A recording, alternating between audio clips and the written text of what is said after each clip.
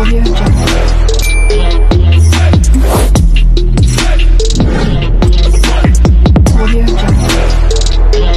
cook Paksiw Lechon Baboy, follow these steps. 1. In a pot, combine Lekan Baboy, roast pig pieces, vinegar, soy sauce, water, garlic, onions, and peppercorns. 2. Bring the mixture to a boil, then let it simmer until the meat is tender and the flavors blend together. 3. You can adjust the taste by adding salt or sugar if needed. 4. Serve hot with steamed rice. Enjoy!